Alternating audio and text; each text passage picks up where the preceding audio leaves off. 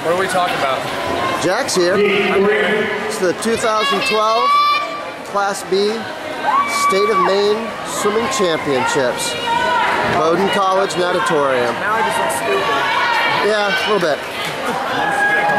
God, what are we talking about? We're here for the medley relay. Heat three, about to get underway. These brightly colored gals are about to get out of the way. We're gonna have the Broncos, Hampden Academy Broncos, in lane one. There's Eddie Cain. He's gonna swim backstroke. The 200 medley relay. Here it is.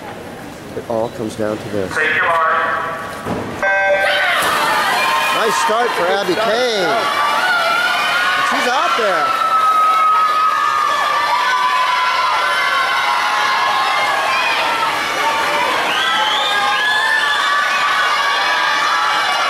Turn.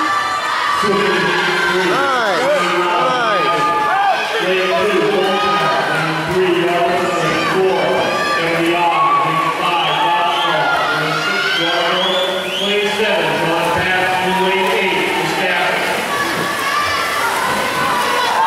And Halie Osgood I'm talking about, Abby! Goes in. What's her split, Jason? 35-64. 35 64. Abby Cain, big meet swimmer. Halie Osgood also rising to the task, rising to the challenge. She's off that wall. Swimming hard.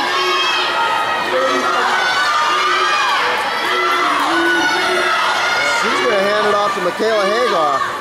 Osgood's looking good. Championship form here in championship season.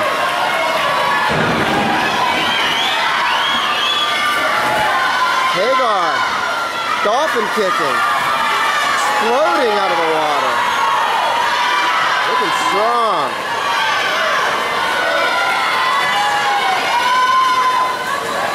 Thirty-nine fifty is off that wall. Thirty-nine fifty-six for Halie. She's under forty. A good swim for her. Got that right. Hagar's looking tough. She's going to hand off to the captain. Emma Parsons enters the water, enters the fray. New goggles, new spirit, kicking. Kicking up a storm.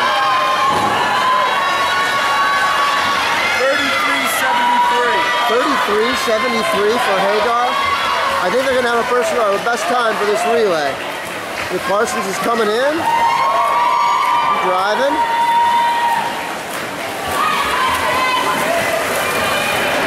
And Emma Parsons is in. Woo, intimidating with those goggles on. What's the time?